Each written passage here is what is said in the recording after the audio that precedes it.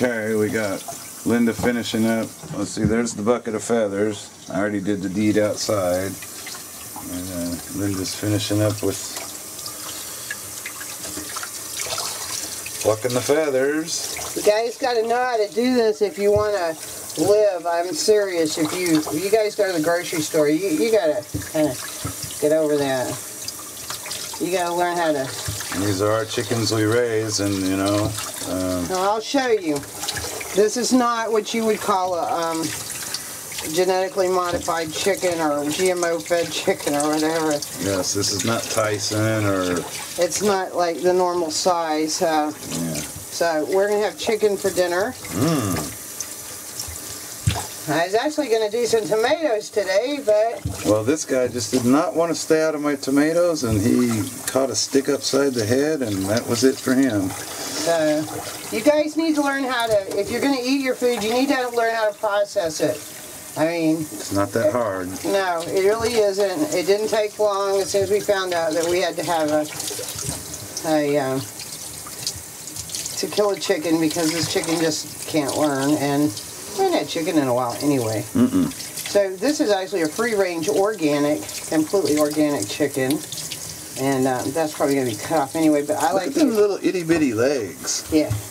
Wow. It's not like them ones you see at the convenience store that look like turkey legs. So, anyway, guys, I suggest everybody learn how to, if you're going to eat food, don't go to the supermarkets. Learn how to do this stuff yourself because one day you may have to do this. And if you don't know how to do it, you know, well, I guess somebody will teach you, but they're only going to show you once, and then you're on your own. And there's a lot of videos on YouTube that'll show you how to do this. Kenny's going to go outside because I'm going to say I'm about done. And um, that looks pretty defeathered to me. How about you? Yep. Okay, and uh, Kenny will go and take its guts out the right way. And um, yes, we're going to have chicken for dinner. Hey guys, peace, love, truth always. And Linda's out. We probably should have showed you how to to do this, but you have to make sure that you don't bust the uh, um, the poop little sack there, because if you do, it'll contaminate your um, chicken.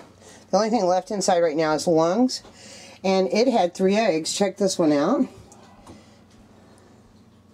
You see that?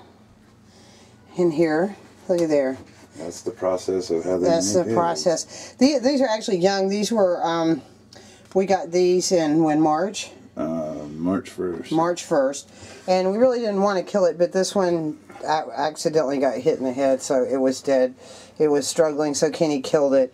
Inside there is lungs, and then we'll wash it out, and it's pretty much will be ready to go. Um, I just wanted to show you guys. I don't know if any of you know that some of these sacks and stuff cannot be busted or it will contaminate your chicken. So um, anyway, the process of cleaning the chicken. Chicken looks very good. Doesn't smell bad at all. Here's chicken feet. I'm not trying to gross you people out, but you guys have really got to learn how to to do your own food. I mean, it's essential that you do. And uh, peace, love, truth to everybody. And I'm out.